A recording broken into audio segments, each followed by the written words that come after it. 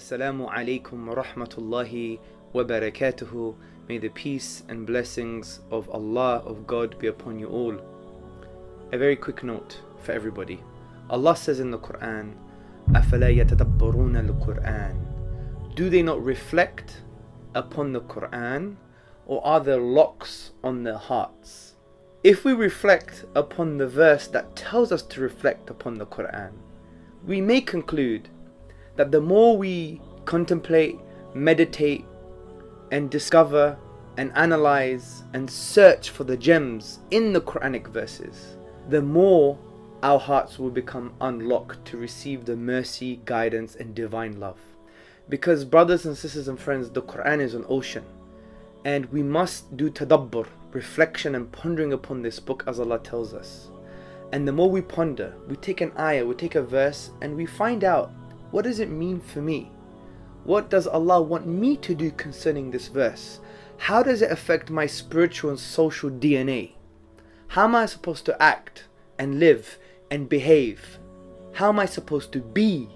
Meaning, what kind of state should I be in? So I want to encourage all the brothers and sisters and friends to really engage with the Quran from this perspective because the Quran wants to be engaged with because the Quran was sent down for the whole of humanity and human beings are thinking human beings.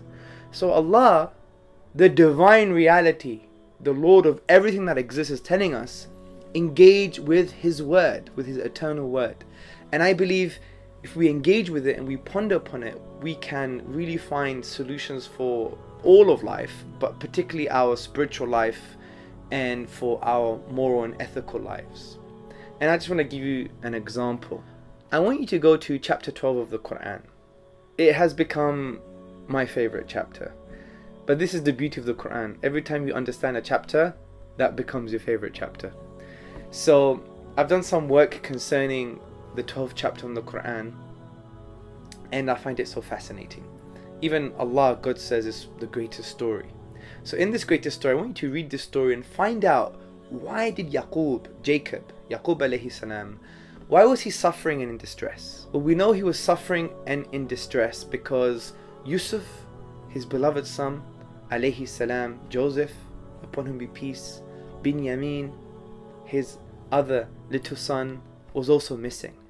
And he was in distress where he says in the chapter 12 verse 86, I only complain of my suffering and grief to Allah, and I know from Allah that which you do not know.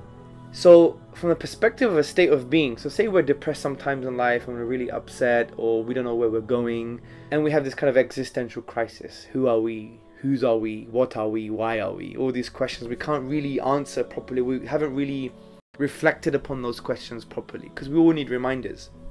So, we can be in a state of suffering and grief. So, Yusuf alayhi salam, rather Yaqub alayhi salam, the father of Yusuf alayhi salam and Binyamin, he's saying he's suffering and, he, and he's in grief. But look at his solution, or look what he does. And he says, I only complain of my suffering and grief to Allah. That's number one. When we go to the next verse, verse 87, he now advises his sons, because he had another 10 sons, to go and find out about Joseph and Binyamin, his brother. And look what Yaqub alayhi salam says. He says, And despair not of the life-giving mercy, Rawhillah, the life-giving mercy of God, of Allah. For indeed, the one who despairs of the life-giving mercy of God is the one who actively rejects the truth. So there are some lessons here. It's teaching us how to deal with grief and distress and depression. Because Yaqub alayhi salam, Jacob upon whom be peace, he wasn't the one in genuine distress and grief because he loved Joseph so much, he loved Benjamin so much, and he was really, really, really distressed. But look what he does. He says, I complain only to Allah. So that's the first point of call when you're distressed and you're in grief. Complain to Allah. The second piece of advice, which is quite significant, is in the advice he gives to his sons. And he says, And despair not of the life giving mercy of Allah for whoever despairs of his mercy is the one who's in an active state of disbelief, who rejects the truth. So it means the one who's in grief and distress and depressed, a solution out of this grief and depression is to sincerely advise others and remind others of the mercy of Allah. Yaqub alayhi salam was the one in distress and grief.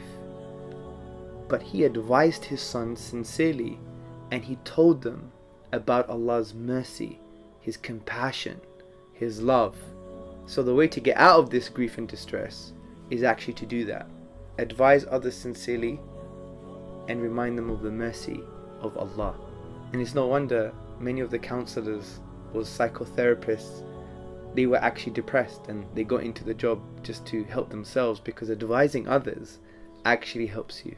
So keep on reflecting upon the Quran, brothers and sisters.